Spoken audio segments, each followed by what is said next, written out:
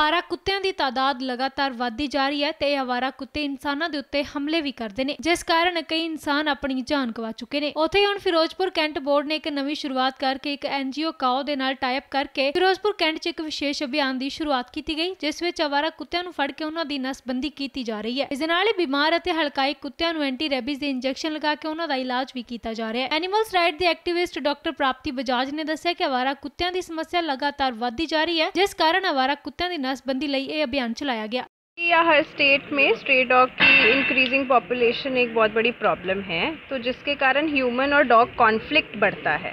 तो इसको कंट्रोल करने के लिए एक ही सोल्यूशन है स्ट्रे डॉग की नसबंदी करना और उनको वैक्सीनेशन वैक्सीनेशन करना ताकि रेबीज़ ना फैले। तो जैसे चेन्नई में बहुत सालों तक डॉग्स मारते रहे, सूरत ने 1994 में सारे डॉग्स मार दिए तो हुआ क्या, उससे रैट्स ऊपर आ गए और प्लेग की बीमारी फैल गई। तो कोई सोल्यूशन नहीं है कि हम डॉग को रिलोकेट कर दे या पॉइजन कर दे। स्ट्रे डॉग यहाँ पे इसलिए क्योंकि गार्बेज है हमारे यहाँ। गार्बेज कंट्रोल और स्ट्रे डॉग मैनेजमेंट इकट्ठा चलना चाहिए, तभी ये कॉन्फ्लिक्ट ख़त्म होगा। तो स्ट्रे डॉग की स्टरलाइजेशन में हम डॉग्स को उठाते हैं। उनको एक दिन फास्टिंग पे रखते हैं, अगले दिन उनकी सर्जरी करते हैं, जो कि एक माइनर प्रोसेस है। उसको वैक्सीनेट करते हैं एआरवी के अगेंस्ट वैक्सीनेशन देते हैं और उसको तीन दिन या चार दिन बाद वापस रिलीज़ करते हैं जब उनके सूचर्स ठीक हो जाते हैं उसी जगह पे। और उनके कान पे एक वी शेप का नॉच दिया जाता है, जिसका मतलब है कि डॉग स्टेरलाइज है और वैक्सीनेटेड है। तो हम लोग यही लोगों को एजुकेट भी करते हैं कि अपने कॉलोनी के आसपास वही डॉग स्टरलाइज कराए, ताकि सबके डॉग्स के नॉच होना चाहिए, ताकि वो आगे पॉपुलेशन इंक्रीज ना करे।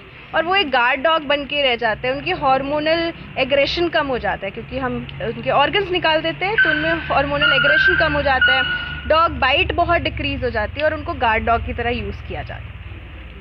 अब तक आप यहाँ पे फिरोजपुर में कितने डॉग्स कर चुके हैं? अभी तक हम 90 डॉग्स कर चुके हैं एक हफ़्ते में।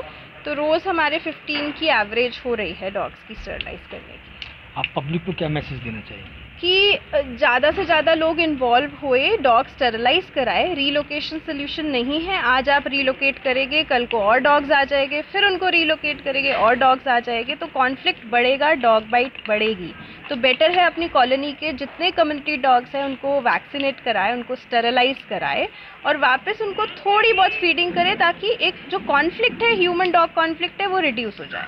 सवेरा पंजाब ली फिरोजपुर तो अक्षय गलोत्रा की report. All world open challenge 17 time gold medalist Mian Rafiq Mohammad, पंडित मौलवी बेगम तांत्रिक इन चोरा ठगा तो सावधान। स्पेशलिस्ट वशीकरण, सट्टा नंबर लव मैरिज पति पत्नी च अनबन, विदेश च पक्का होना, कारोबार दा ना चलना, सिर्फ़ 31 घंटिया विच समाधान। फ्री फ्री फ्री मियाँ रफीक मोहम्मद, मोबाइल ਮੋਬਾਈਲ 8434494647 84374 94648 हड़ताली देश दुनिया की हर वीडी खबर के लिए हमें डाउनलोड करो नंबर वन न्यूज़ ऐप, दैनिक सूरा टाइम्स।